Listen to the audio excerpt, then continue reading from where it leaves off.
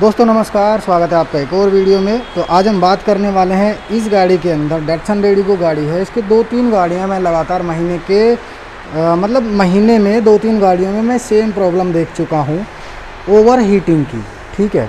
गाड़ी का फ़ैन भी चलता रहता है। गाड़ी के फ़ैन को कैसे चेक करते हैं सर्किट कैसे चेक कर सकते हैं सिस्टम से उसकी वीडियो का मैं लिंक दे दूँगा कि फ़ैन ओके है या फ्यूज़ ओके है कि नहीं है फ़ैन का रिले का फ्यूज़ ओके है कि नहीं ओके मैक्सिमम टाइम होता क्या है? अपनी गाड़ी का जो फ़ैन सराउड है, ये फ़ैन जो है, ये चलता चलता बंद हो जाए, ये काम ना करे तो इसकी वजह से 100 परसेंट गाड़ी ओवरहीट होती है, ठीक है? बट अगर ये फ़ैन भी चल रहा है, आपको कहीं पर कोई लीकेज भी नहीं दिख रहा है, अंदर हीटर को जो होती है, वो भी बिल्कुल ठीक है। हीटर कोर के कनेक्शन जो ये देखिए, ये हीटर कोर के कनेक्शन होते हैं, इसके अंदर से कूलेंट जाएगा और हीटर कोर से होता हुआ वापस आ जाएगा, ठीक है? ये जो पाइप जा रहा है इधर से, ये देख रहे हो? ये पाइप नीचे इनलेट पाइप में मिल जाता है मतलब कूलेंट पाइप में। ठीक है, और यहीं से ये ऊपर सीधा, इधर ये वाटर पंप जो है, ये इसको खींच के वापस से इंजन के अंदर डाल देता है। प्रोसेस तो यही है सर्कुलेशन का बट आपकी गाड़ी में हो रही है ओवर हीटिंग की प्रॉब्लम एंड कूलेंट भी नीचे नहीं गिर रहा है। ठीक है, आप देखते हो कि गाड़ी ओवर हीट हो रही है तो मैक्सिमम टाइम क्या होता है? कूलेंट लीकेजिंग की वजह से गाड़ी में दिक्कत आ जाती है ओवर हीटिंग की। तो अभी आप क्या करते हो? आप तो नॉर्मल चीज़ें हैं मतलब जो नॉन टेक्निकल बंदे हैं, जो ऑनर्स हैं, वो क्या देखते हैं कि नीचे कुछ गिर तो नहीं रहा है, ठीक है? या कूलेंट तो कम नहीं हो गया, या इस कूलेंट बोतल में चेक कर लेंगे, इसके अंदर तो कम नहीं हो गया, यहाँ तक, है ना? तो मैं आज आपको वो मेन पॉइंट वो चीज़ बताऊँगा, किस वजह से उन तीन गाड़ियों में एंड क्या लीकेज हो रहा था, जिसकी वजह से गाड़ी के अंदर कूलेंट कम हो जा रहा था एंड गाड़ी ओवर हीट हो जा रही थी। और उसके बाद भी एक चीज़ आती है, आपने देखा होगा। गाड़ी जब ओवर हीट होती है ओवर हीट होने के बाद आप गाड़ी बंद कर दो, ठीक है? बंद करने के बाद भी ये फ़ैन कंटिन्यूसली चलता रहता है। इसका लिंक भी मैं दूँगा। आपको कैसे ये फ़ैन का करना है सोल्यूशन कि ये गाड़ी बंद होने के बाद ना चले, ठीक है? फ़ैन गाड़ी बंद होने के बाद भी चल रहा है तो उस कंडीशन में गाड़ी ओवर हीट है। क्योंकि इंजन का टेम्परेचर जब तक डाउन नहीं आएगा, तब तक ये बंद होने के बाद भी चलता रहेगा। और ये चलता रहता है, अपना काम करता है बेचारा। तो अब मैं आपको मेन चीज़ दिखाऊँगा कि कहाँ पर मैक्सिमम टाइम लीकेज मिली है तीनों गाड़ियों में, जो पकड़ में नहीं आती है। एंड लोग बार बार क्या करते हैं, कभी रेडिएटर चेंज कर देते हैं, शक के बिना पे कभी फ़ैन राउड बदल देते हैं कि चलता चलता ये बंद हो जाता होगा, उस टाइम पे गाड़ी ओवर हीट होती होगी।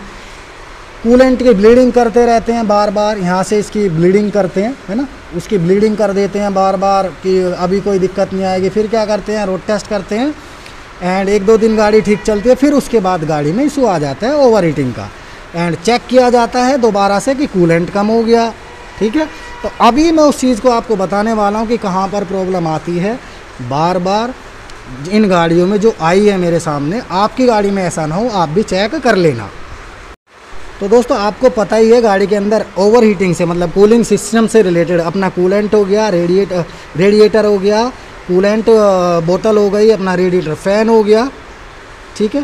एंड इधर ये पाइप हो गए एंड ये वाटर पंप हो गया एंड ये जो पाइप हैं, ये ये सब हो गए हीटर कोर हो गए, और इसके अंदर कूलेंट चलता है, ठीक है?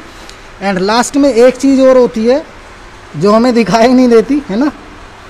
लास्ट में होती है ये वाली चीज़ कूलेंट एल्बो ठीक है? ये जो एल्बो होती है। तो अभी ये क्योंकि एयर फ़िल्टर के नीचे रहती है, हमें आसानी से दिखाई नहीं देती है। एंड इसी वजह से होता क्या है? अब मैं बताता हूँ, ये लीकेज कहाँ से होती है? एक्चुअली यही वो पार्ट है, जिसकी वजह से गाड़ी में ओवर हीटिंग का कंसर्न बार बार आता रहता है। ठीक है? अभी मैं हल्का सा इसको नीचे लेता हूँ। एंड अभी आप देखना, यहाँ पर जहाँ ये नीचे आपको बोल्ट दिखाई दे रहा होगा ना इसमें, ये जो नीचे की तरफ़ आपको यहाँ पर ये बोल्ट दिखाई दे रहा है नीचे की साइड से इसका रिंग कट जाता है, ठीक है? एंड यहाँ से क्योंकि हेड जो है बहुत गर्म टेम्परेचर पे रहता है, और वो गर्म हो हो के क्या होता है, पानी आराम आराम से सीपेज टाइप होके गिरता रहता है मतलब भाप बन के उड़ता भी रहता है एंड गिरता भी रहता है, और थोड़ा बहुत जब यहाँ गिर भी जाता है तो एयर फ़िल्टर के नीचे होने की वजह से हमें दिखाई नहीं देता है, और थोड़ा थोड़ा करके कूलेंट कम हो जाता है, एक दो दिन में, दो चार दिन में, ठीक है? एंड उसके बाद गाड़ी में फिर से ओवर हीटिंग की कंसर्न बन जाती है। तो ये, क्योंकि एयर फ़िल्टर के नीचे रहता है, यहाँ पर, यहाँ तक एयर फ़िल्टर आ जाता है एंड वो बिल्कुल इसके नीचे लग जाता है एयर फ़िल्टर का डक्ट यहाँ लग जाता है। वीडियो मैंने बहुत सारी डाली है डेटसन रेडियो की, आप देख लेना। तो ये जो है ना, अपना ये थर्मोस्टेट वाल और ये कूलेंट एल्बो इस पर हमारा ध्यान जाता ही नहीं है एक्चुअल में। एंड ये यहाँ से लीक होता रहता है। बार बार कभी रेडिएटर चेंज हो गया, कभी कूलेंट हो गया। एंड कभी बार बार हम क्या करते हैं? ब्लीडिंग करते रहते हैं। है ना? कूलेंट पूरा किया 10-12 किलोमीटर गाड़ी चलाई ओके फिर कोई प्रॉब्लम नहीं बट 50-60 किलोमीटर 100 किलोमीटर चलने के बाद यहाँ से नीचे से आराम आराम से कूलेंट लीक होता रहता है। एंड उस कंडीशन में एक दिन कूलेंट कम हो जाता है छः सात दिन बाद और फिर से ओवर की प्रॉब्लम स्टार्ट हो जाती है। अगर आपकी गाड़ी में ओवर हीटिंग का ऐसा कंसर्न आ रहा हो, ऐसा प्रॉब्लम आप अगर फेस कर रहे हो तो प्लीज़ एक बार एयर फ़िल्टर खोल के चेक करो, वहाँ पर कोई लीकेज या सीपेजिंग तो नहीं है। ठीक है दोस्तों, अगर ऐसा है, गाड़ी आपकी ओवर हीट हो रही है तो रिस्क बिल्कुल नहीं लेना है, क्योंकि टैपिट कवर भी प्लास्टिक का है अपनी गाड़ी का ऑयल सम्प भी अपनी गाड़ी का प्लास्टिक का है एयर डक्ट भी प्लास्टिक का है इनटेक मैनिफोल्ड तो हर गाड़ी में प्लास्टिक का रहता है है ना? तो अब ये प्लास्टिक के हैं तो अगर गाड़ी ज़्यादा ओवर हीट हो गई तो उस कंडीशन में ऑयल सम्प वगैरह बहुत ज़्यादा खर्चा बढ़ जाता है।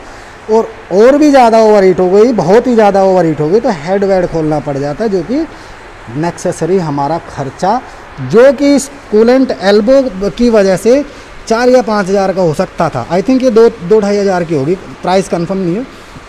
इतने का हो सकता था तो वो उस प्राइस से कहीं गुना ज़्यादा हो जाएगा मतलब दस पंद्रह हज़ार हो जाएगा। तो वो चीज़ हमें ध्यान रखनी है, ठीक है? तो ये कूलेंट एल्बो के अभी आप अपनी गाड़ी में एयर फ़िल्टर खोल के एक बार चेक कर लेना ऐसे ही। वीडियो बना के आप देख सकते हैं वीडियो में दिखेगा।